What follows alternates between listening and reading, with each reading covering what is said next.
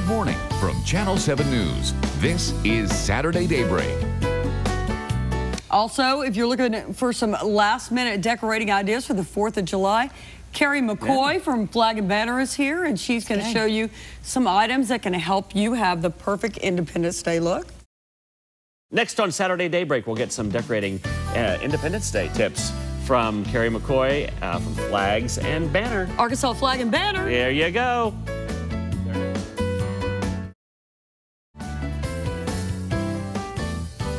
And welcome back into Saturday Daybreak. Well, it wouldn't be Independence Day without the great folks from Flag and Banner here. It completely decked our set out with everything patriotic. And mm -hmm. Kerry, you're going to tell us how we can uh, make our homes look just as fabulous. That's exactly right. We've got stuff to decorate your house, to wear, to entertain. Did y'all see the woman isn't that great? What a Isn't great swimming suit. You know, this is the number one popular swimming suit, the Confederate Really? And you won't believe what state buys the most of these. California. No kidding. They have no negative connotation about it. They just think they're rebels on the beach. Well, that's really that something. But yeah. you can also do entertaining right here. Uh, this is your traditional colors, bright reds and bright whites and blues. Sure.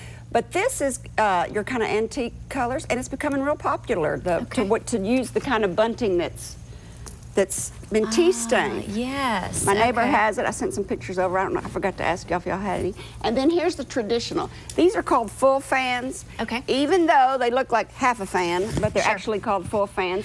So you can buy them already pleated, or you can just buy swags of fabric in kits. Okay. That you can just make up yourself. Now, give me an example of where people are hanging this from, like today. From their porch. Okay. Right around the railing. Okay. These come three feet wide, six feet wide, this way okay. and eight and eight feet wide. So they need to before they come down, they need to measure okay. where they want to put it and then come down and get the right Make size. Make sure they've got the right size. The other thing, a lot of people's brackets are broken on their homes and yes. they want to come down and get a new pole. Make sure you measure the diameter of your bracket. Is it a three quarter inch bracket that's on the wall? Is it a one inch okay. diameter bracket that's on the wall? Because when you come down to get your pole, you're going to go, oh my gosh, I don't know what size my bracket sure. is. Oh, and then important. I'll just sell you everything like this, which is fine. that's not bad. No, no, that's not bad.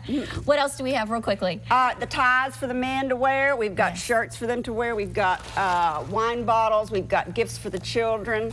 Um, this right here, if you're having problems with your flag wrapping around your pole, mm -hmm. you can stop the madness. These are called never furls. Again, measure the diameter of your pole.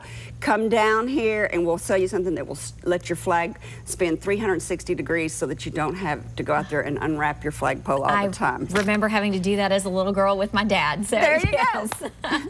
now tell me, you guys will be open if people oh, are seeing this and want That's right. We're open today. How can we get to you? We're open today. We're in downtown Little Rock off the 630 freeway. We're already open. We normally don't open till 10 and we close at 4. Okay. So come on down and um, there's somebody there right now. It's going to be a madhouse today. Oh, we have 30% off. I can't believe I almost Excellent. forgot to tell y'all okay. that.